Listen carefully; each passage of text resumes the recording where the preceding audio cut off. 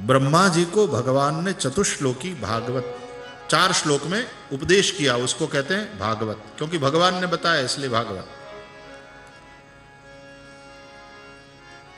चार श्लोकों में संपूर्ण श्रीमद् भागवत है। लो, कृष्ण जन्म की कौन कहे? कथा को पूरा करना हो तो बस ये, इन चार श्लोकों के साथ पूरी हो जाएगी। चार ही श्लोक में भागवत। ब्रह्मा जी को कहा कि आप सृष्टि की रचना करो। बोले, सृष्टि की रचना करने से पहले मुझे वो उसका कोर्स करने दो, कैसे रचना होती है? डॉक्टर कब बनोगे? जब डॉक्टरी पढ़ोगे? वकील कब बनोगे? जब वकालत वाला पढ़ोगे? तो मुझे भी पढ़ाओ, कैसे मैं सृष्टि करूँ? और सृष्टि तो करूँ, लेकिन उसमें मैं आसक्त न हूँ। तो भगवान ने चार श्लोकों में ब्रह्मा जी को जो बताया वो है चतुश्लोकी भागवत। देखो ब्रह्मा, मैं जैसा हूँ मेरे यथार्थ स्वरूप का बोध तुम्हें मेरी इच्छा से, मेरे अनुग्रह से हो जाए। भगवान के अनुग्रह के बगैर भगवान को जानना संभव नहीं है। पहला श्लोक। अहमेवा समेवाग्रे, नान्यद्यत् सदसत्परम पश्चादहम यदे तच्च यो वशिष्येत सोस्म्यहम् सुनो, जब कुछ भी नहीं था, उस वक्त मैं था। ये सब कुछ है, इस रूप में मैं ही हूँ। और जब ये कुछ भी नहीं रहेगा, तब भी मैं रहूँगा। काल सबको मिटा देता है लेकिन काल को कोई नहीं मिटा सकता। वो काल मेरा ही रूप है मैं ही हूँ। गीता में भी कालो उसमें लोकाक्षयकृत प्रवृद्ध। भगवान कहते हैं। वो महाभारत की सीरियल में आप लोगों ने देखा था? बच्चे तो तब छोटे थे वो वाली महाभारत वाली सीरियल आप लोगों ने नहीं देखी होगी। लेकिन एक वो चक्र घूमता रहता था स्क्रीन पर मैं समय हूँ।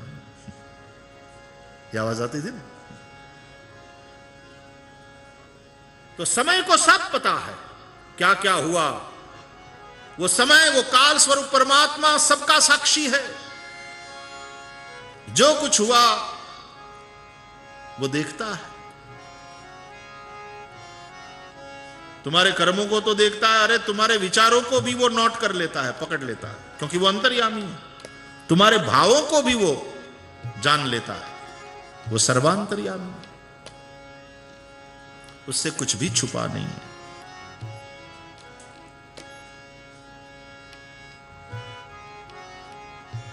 तो जब कुछ नहीं था, तब मैं था, सृष्टि के आदि में केवल मैं ही था। जब यह सृष्टि है तो इस रूप में मैं ही हूँ। ये जो तुम देख रहे हो, ये मेरा शरीर है। देखो, आत्मा नहीं दिखती, शरीर दिखता है। लेकिन आत्मा है ना? अंदर चेतना है, तब तो हम ज़िंदा। लेकिन आत्मा दिखती है क्या?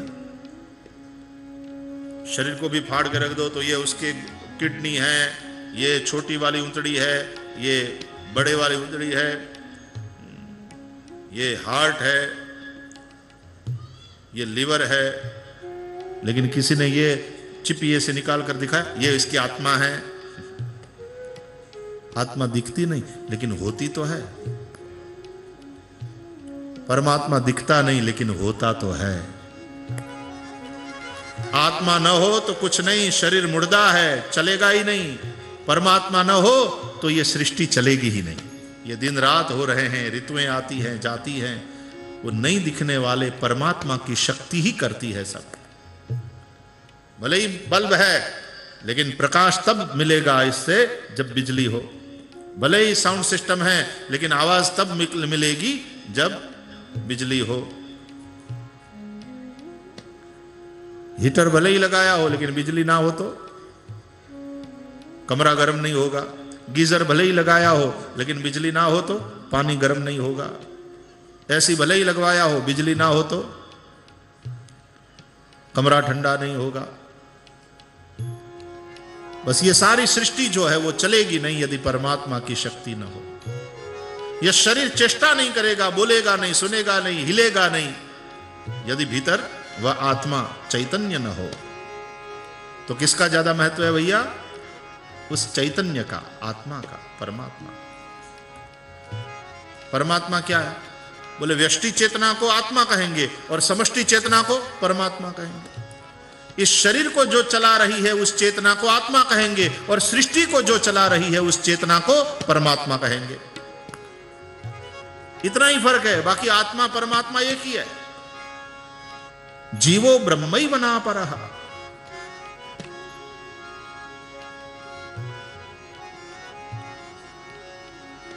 जो कुछ है उस रूप में तुम मुझे ही देखो।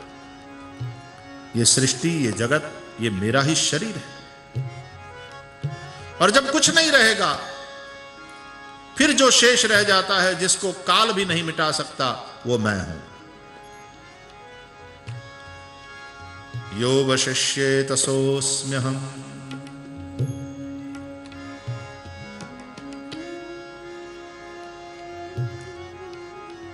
तो भैया, सृष्टि नहीं थी तब भगवान थे।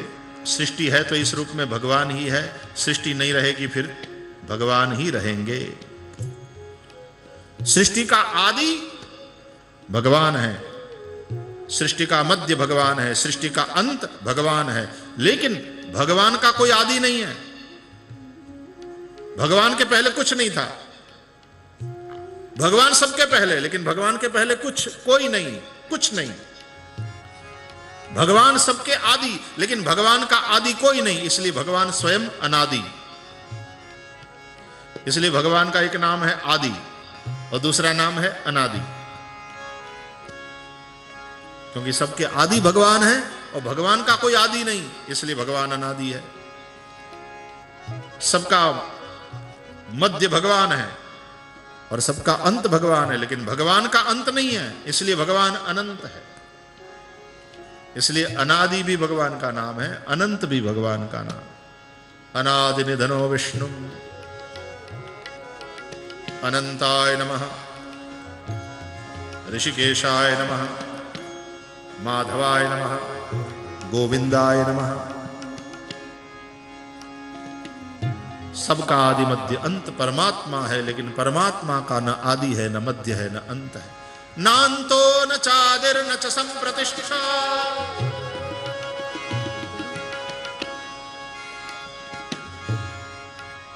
अच्छा भगवान ने जो सृष्टि के विषय में कहा है, वो आप अपने शरीर के विषय में कहो। चलो, जब ये शरीर नहीं था, तब भी मैं था। जब शरीर है तो इस रूप में मैं ही हूँ। जब शरीर नहीं रहेगा तब भी मैं रहूँगा। तो शरीर का आदि मैं हूँ, मैं यानी आत्मा। शरीर का मध्य मैं हूँ और शरीर का अंत भी मैं ही हूँ। लेकिन मेरा आदि, मेरा जन्म नहीं है, न मेरी मृत्यु है। आत्मा न पैदा होती है, आत्मा न मरती है।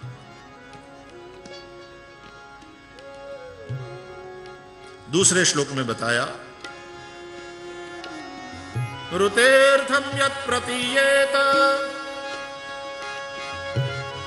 न प्रतीयेत चात्मनि तद विद्यादात्मनो माया यथा भासो यथा तम पहले भगवान ने अपने स्वरूप के विषय में समझाया, अब माया के स्वरूप में। माया क्या है? बोले, हकीकत में जो है, उसको छुपावे और जो नहीं है, उसको दिखावे, वो माया।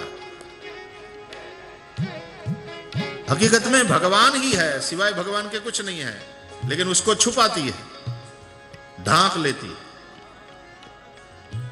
और संसार है नहीं, लेकिन उसको दिखावे, माया।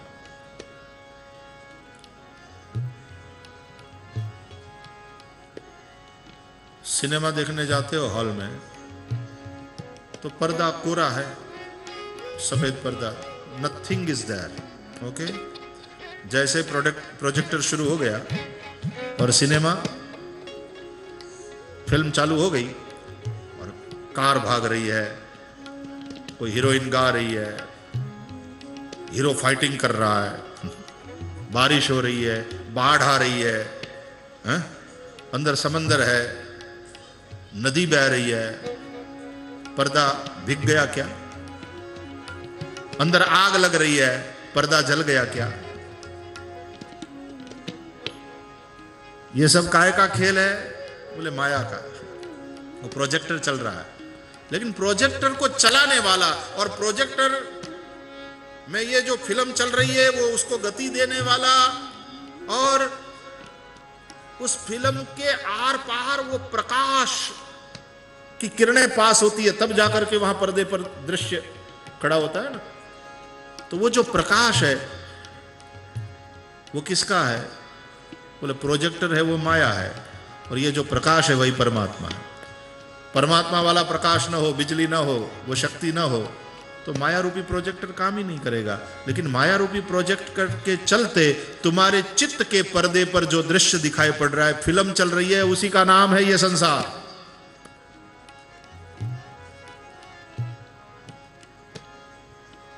तो वहाँ पानी दिख रहा है, होता नहीं है। आग दिख रही है, लगी हुई नहीं होती है, नहीं तो पर्दा जल जाता। तो वस्तुतः जो सत्य है उसको मिथ्या बतावे और वस्तुतः जो मिथ्या है उसको सत्य बतावे, वो भगवान की माया है। यथा महांति भूतानी प्रविष्टान्य प्रविष्टानि तथा तेषु न तीसरे श्लोक में यह कहा, संक्षेप में समझ लो। भगवान कहते हैं, मैं सभी में हूँ और सब मुझमें है। लेकिन फिर भी मुझमें होते हुए भी अप्रविष्ट है और मैं सब में होते हुए भी अप्रविष्ट हूँ। सीधा सा आप समझ लें कि सब में परमात्मा है और सब परमात्मा में है।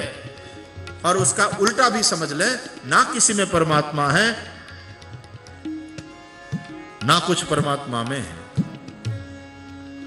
ये तो कॉन्ट्राडिक्टरी बात लगती है ना। अब इसको समझोगे तो मज़ा आएगा। लेट्स ट्राई सब में परमात्मा है और सब परमात्मा में है ये पहली बात। सब परमात्मा में है ये जड़ चेतन सारी सृष्टि आकाश समंदर पर्वत पशु पंछी जो भी है अनंत अनंत ब्रह्मांड सब परमात्मा में है और परमात्मा में है इसलिए है। यदि परमात्मा में न होता तो ये कुछ नहीं होता। ये जो एग्जिस्टेंस है पूरा, वो परमात्मा के चलते। कैसे? सोने का नेकलेस गले में नेकलेस है, सोने का। ये नेकलेस है किसमें सोने में। सोना ना होता तो नेकलेस ना होता। सोना ही ना होता तो नेकलेस का अस्तित्व ना होता। तो नेकलेस किसमें है? सोने में। तो ये ये पूरा ब्रह्मांड, ये पूरी सृष्टि किसमें है? परमात्मा में। परमात्मा ना होते। ये सृष्टि ना होती, ये यूनिवर्स ही ना होता। वो है, इसलिए तो यूनिवर्स है। तो सोने में नेकलेस है। सोने में आकार बनाया गया, सोने का, उसको नेकलेस बोला गया। ठीक है? तो सोने में नेकलेस है। और नेकलेस में क्या है? सोना। नेकलेस में सोना ही है ना, और क्या है? सोने का नेकलेस है तो नेकलेस में नेचुरली ऑब्वियसली सोना ही होगा। तो सब परमात्मा में है और सब में परमात्मा। और सब में परमात्मा है, इसलिए तो हम हिल रहे हैं, डुल रहे हैं। परमात्मा में हम हैं, इसलिए हम हैं, लेकिन परमात्मा हमारे में है, इसलिए हम ज़िंदा है। वो परमात्मा चला जाए तो मुर्दा। तो सब में परमात्मा। ईश्वर सर्वभूतानाम हृदय तिष्ठति ब्राह्मयन सर्वभूतानि यंत्रारूढ़ानि मायया। गीता में भगवान कहते हैं, चलो अब उल्टा करके देखो। ना किसी में परमात्मा है, ना कुछ भी परमात्मा में है। अब इसको कैसे सिद्ध करें? कि भाई, यदि सब परमात्मा में होता तो परमात्मा तो नित्य है तो सब नित्य होता। लेकिन ऐसा नहीं है। परमात्मा नित्य है बाकी कुछ भी नित्य नहीं है। इसलिए ये परमात्मा ने हो, होते हुए भी परमात्मा में नहीं है। और यदि सब में परमात्मा होता तो जैसे ही सब लोग मरते हैं तो परमात्मा भी मर जाता। लेकिन ऐसा नहीं है। लोग मर जाते हैं शरीर मर जाते हैं ये सृष्टि नाश को प्राप्त हो जाती है लेकिन परमात्मा ज्यो का त्यों बना रहता है। इसलिए उनमें होते हुए भी नहीं।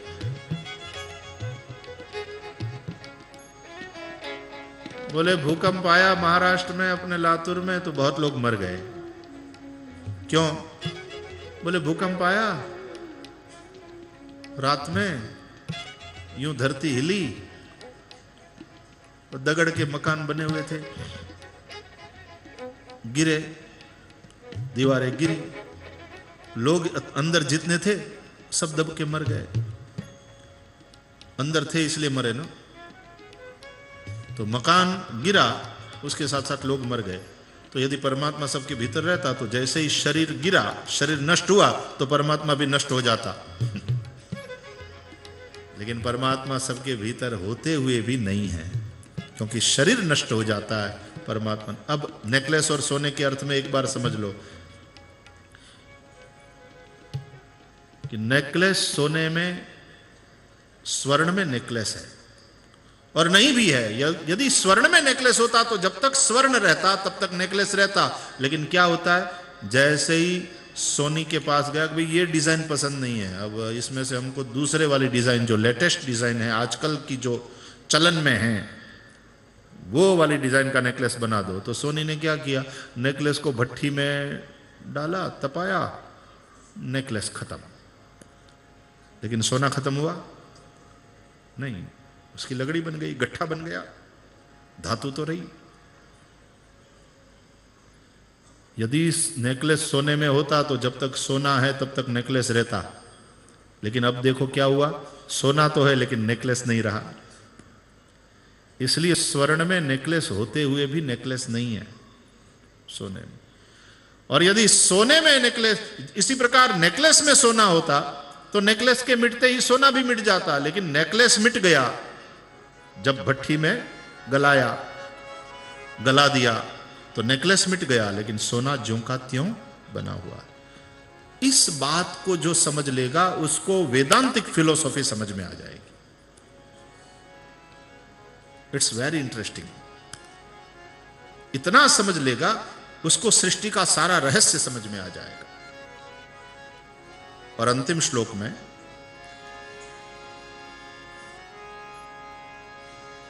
एतावदेव जिज्ञास्यम्। तत्त्वजिज्ञासुनात्मनः अन्वयव्यतिरेकाभ्याम्। यत् सर्वत्र सर्वदा। जो तत्व को जानने की इच्छा रखते हैं, वो इतना ही समझ ले कि अन्वय और व्यतिरेक से और सर्वदा और सर्वत्र जो है वो क्या है। इसको थोड़ा सरलता से समझें। कार्य और कारण, ये दो है। दो होते हुए भी ये एक ही है। कार्य माने जो हुआ है। कारण मतलब जिससे हुआ है। Cause and effect there is no effect without cause ये नियम है। तो बिना कारण के कार्य नहीं होता। Without cause there is no effect तो जो हुआ है, वो है कार्य, और जिससे हुआ है, वो है कारण। शरीर हुआ है, कार्य। किससे हुआ है? पाँच महाभूत से बना। वो है कारण। पाँच महाभूत अपने आप मिल गए क्या? नहीं। माता पिता के चलते पाँच महाभूत मिले और शरीर बना। रज शुक्र के संयोजन से, माँ के गर्भ में शरीर बना। तो माता पिता भी कारण है, पाँच महाभूत भी कारण है। पाँच महाभूत उपादान कारण माता पिता निमित्त कारण। जैसे घड़ा मिट्टी का। तो घड़ा, वो है कार्य। काहे का है? बोले मिट्टी का। मिट्टी है कारण। लेकिन मिट्टी से घड़ा अपने आप बन गया? नहीं। किसी ने बनाया है। किसने बनाया? कुंभार ने। तो कुंभार भी कारण है। तो मिट्टी है उपादान कारण, जिससे घड़ा बना, और कुंभार है निमित्त कारण, जिसने घड़ा बनाया। बस उसी प्रकार ये जो जगत है, ये जो सृष्टि है, वो है कार्य effect what is the cause कारण क्या है? बोले, उसका कारण है परब्रह्म परमात्मा। Without without cause there is no effect तो ये जगत है तो इसका कोई कारण होना चाहिए। जगत का जो कारण है, वो परमात्मा है। इसलिए शंकर जी को वंदन करते हुए हम कहते हैं, वंदे जगत कारणम, वंदे देव उमापतिम सुरगुरु, वंदे जगत कारणम, वंदे पन्नग भूषणम मृगधरम वंदे पशूनाम पतिम वंदे नयनम वंदे मुकुंद प्रियम वंदे भक्तजनाश्रयं च वरदं वंदे शिवं शङ्करम्।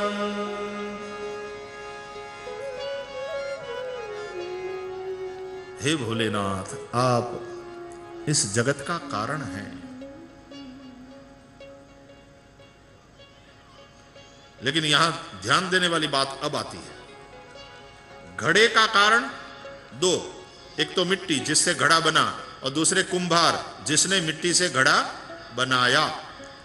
नेकलेस इफ़ेक्ट, कार्य, उसके कारण, दो, एक सोना जिससे नेकलेस बना और दूसरा, सोनी जिसने सोने से नेकलेस बनाया। तो सोना है उपादान कारण। जिससे नेकलेस बना। सोनी निमित्त कारण जिसने सोने से नेकलेस बनाया। बस उसी प्रकार यहाँ जगत जो है, वो है कार्य इफ़ेक्ट और उसका कारण है पर ब्रह्म परमात्मा। लेकिन अब ध्यान देने वाली बात है कि पर ब्रह्म परमात्मा ही यहाँ पर उपादान कारण भी है और निमित्त कारण भी है। यानी बनने वाले भी भगवान और बनाने वाले भी भगवान। वाय क्यों भाई?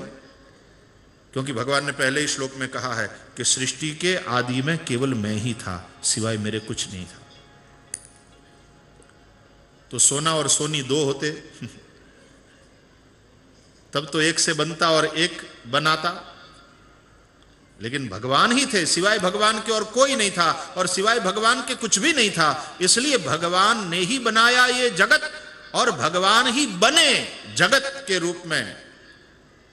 सोनी सोना नहीं है।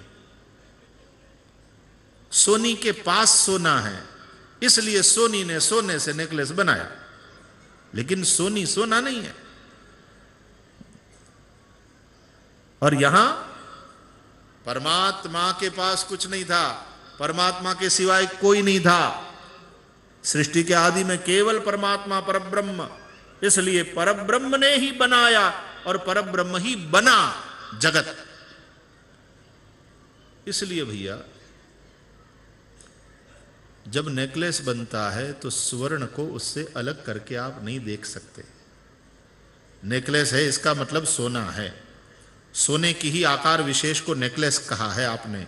बस उसी प्रकार जगत से आप जगदीश को अलग नहीं कर सकते। जगदीश के ही साकार स्वरूप को आप जगत कहते हैं, सृष्टि कहते हैं। इसलिए हम मानते हैं सर्वम खलु इदम ब्रह्म। जो कुछ है सब पर ब्रह्म ही है।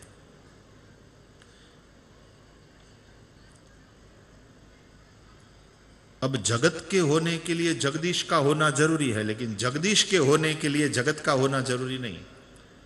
नेकलेस के होने के लिए सोने का होना ज़रूरी है, लेकिन सोने के होने के लिए नेकलेस का होना ज़रूरी है क्या? सोना नहीं होगा तो नेकलेस हो ही नहीं सकता। लेकिन नेकलेस ना हो, तब भी सोना तो हो सकता है ना? बस उसी प्रकार, यदि जगदीश ना हो तो जगत नहीं हो सकता। लेकिन जगत ना हो, तब भी जगदीश हो सकता है। इतनी बात को जिसने समझ लिया, उसने सब कुछ समझ लिया, पूरा भागवत समझ लिया। यह है चतुश्लोकी भागवत।